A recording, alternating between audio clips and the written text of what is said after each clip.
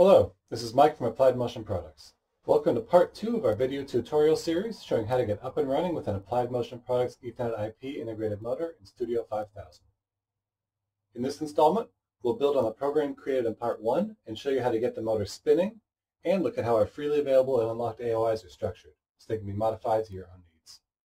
If you'd like to follow along, the AOIs I'll be using can be found in the support section of our website, appliedmotion.com, under Application Note 46. The input and output assemblies are detailed in the Ethernet IP appendix of our host command reference, which can be downloaded at appliedmotion.com HCR. And the EDS file for your particular drive can be found under Downloads on the drive's product page. Okay, let's start by reviewing where we left off last time.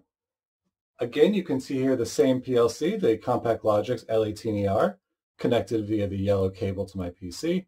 And we have the same TSM23X 3G IP integrated step servo motor connected with the orange cable into my PLC. And they're both powered off of a 24 volt DC supply. And if we switch back to our Studio 5000 screen, we see where we left off last time. So the input assembly is up and running. The AOI is working. You can tell by the changing um, holding current variable here that we're actually communicating with the drive and getting fresh information and the status code shows that the motor is enabled and it's in position. Now, let's work on making the motor move. So I'm going to go offline to do this, and I'm going to import a couple of add-on instructions. The first one I'm going to import is the jog, the amp jog move.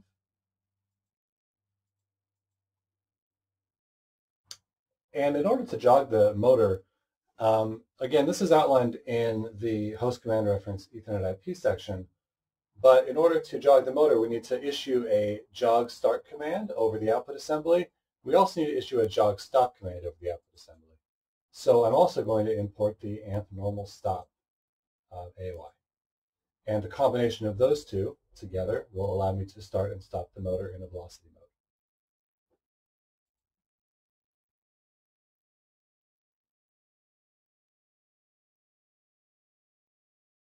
Now those are both in, I'm going to start a new rung.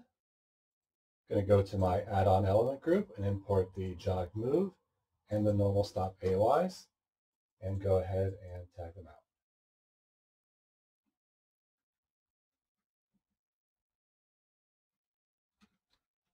Demo motor jog instruction. The input, I'm going to point to our input assembly. Data array and the output is going to go to the output assembly data array. And now this is new from the last time, from the last tutorial video.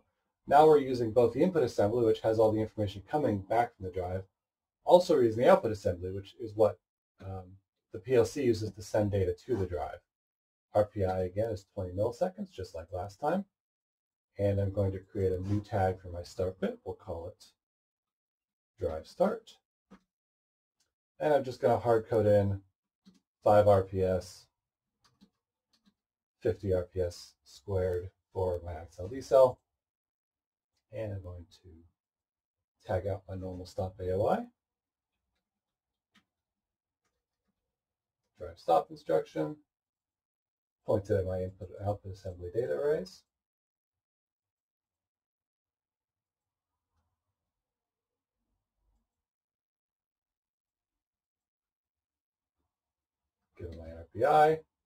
And create a bit or a tag for my stop. I call the first one drive start. I'll just call this one drive stop. Okay, we're going to right click, verify rung. No errors, no warnings. We're good to go. So I'm going to download it to the PLC and I'm going to turn on my webcam.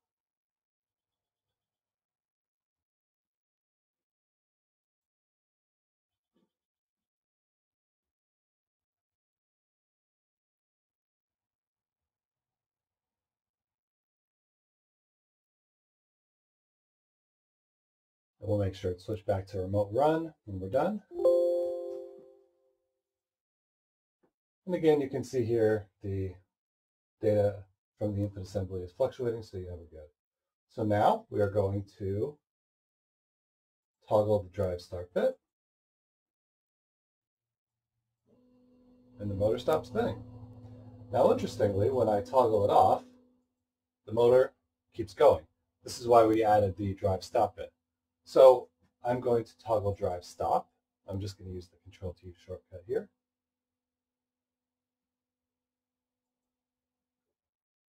There we go. And the drive is stopped. So I can just do that back and forth. Start it, stop it. And notice it's always these rising edge transitions on the bits that actually kick off the AOIs. So now let's take a look at how we might actually use this, use these tag names in a real program. So I'm going to go offline. I'm going to turn off my webcam, and then I'm just going to add in a quick ladder showing how you might go about using these in your program. So I'm going to add a rung, and I'm going to go to the bit element group. I'm going to add an examine on.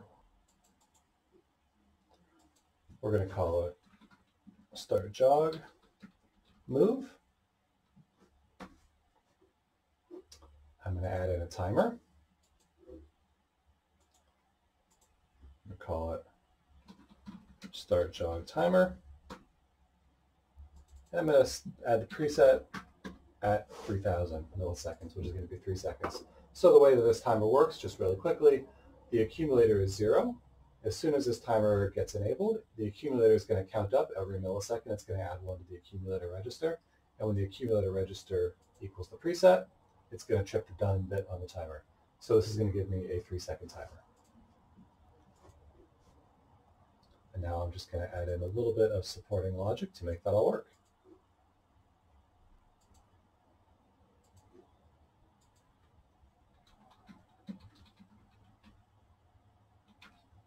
I'm going to check the start jog timer enable and I'm going to make sure that it is not done.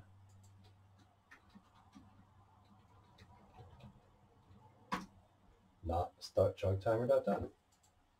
And over here I'm going to energize the drive start output which will cause my rising edge transition right here in the drive start or in the uh, jog AOI. And then I'm going to add in a ladder to check when my timer is done and turn off my drive stop. So the output I'm going to energize is drive stop. And the condition I'm going to give that is start jog timer dot done. So in this case, I'm checking if it's not done, I'm doing the start. And if it is done, I'm doing the stop. Okay, I'm going to right click, verify rung, that all looks good. Communications, download.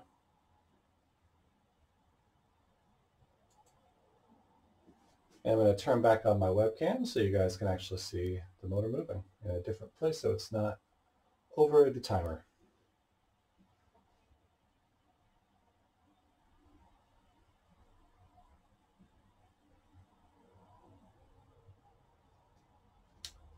Okay, and we're up and running. Let's just verify that our input assembly is moving. Oh, we got to go back to run mode. There we go. Now our input assembly is moving, so now we're good. Let's look down at our timer. Everything's good.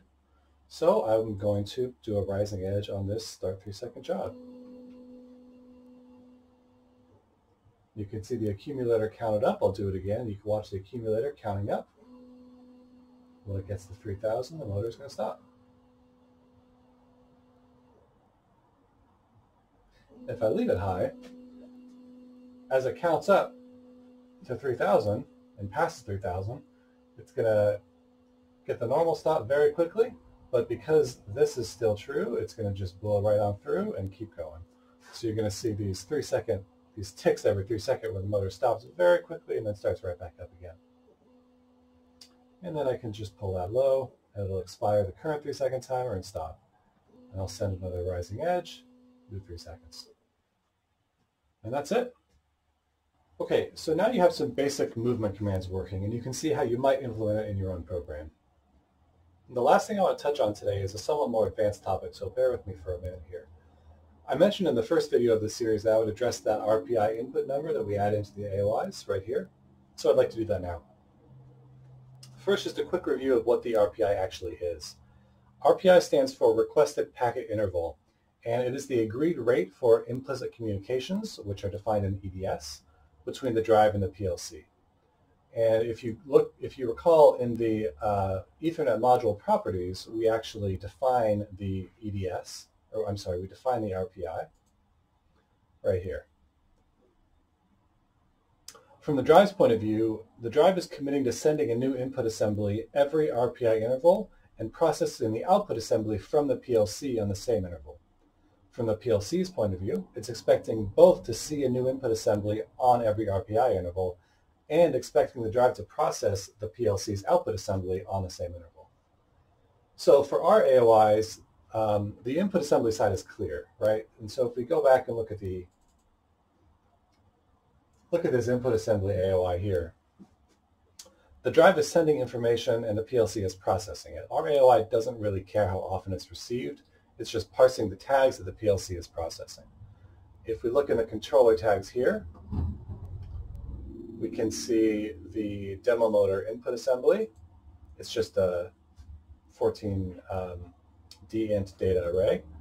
And then if we go into the local tag on our main program, we can see the demo motor input assembly. This is the output of the input assembly AOI, and it really just takes those same 14 um, dints and puts them into more usefully worded dints that we can use later in our program.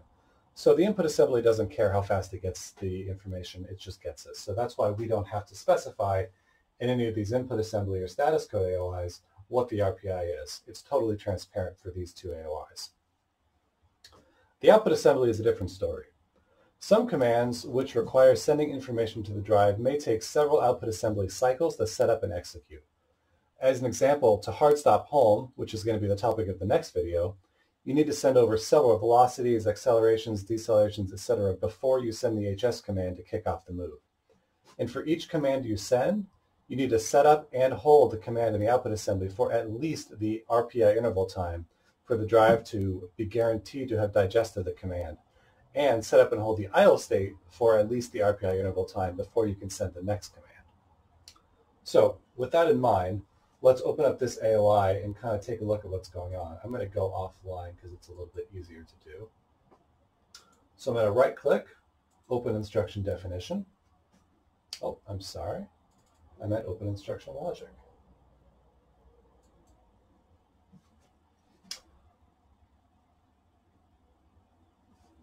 So we can see here a lot of ladder instructions, setting up scaling, stuff in the output assembly, managing the control word, etc. But what I really want to focus on here is rung 1. And in this rung, we set up some timer presets. So the comment here, make sure the Ethernet IP commands are maintained long enough to catch at least one RPI cycle. We maintain signals 30% longer than the nominal RPI. That's really the key to what's going on. So these timers are taking the RPI number you enter and multiplying it by 1.3, which effectively adds 30%. So our RPI is 20 milliseconds times 1.3 gives us a preset that's going to go into these timers of 26 milliseconds. And the variable names, local command off timer and local command on timer um, dot pre in both cases, give us a clue as to what's happening. These are the timer presets for the command word on time and command word idle time. Every time we stuff the output assembly and pull a control word bit high, we're going to wait until that timer preset expires, then pull the control word back to the idle state until that timer preset expires. That extra 30% buffer that we're multiplying in is really just the buffer to guarantee the drive processes the output assembly correctly. So a support question that we've been asked goes something like this. If I program the RPI when I set up the module, then surely the PLC knows what the RPI is. So why do I need to enter it again in every AOI?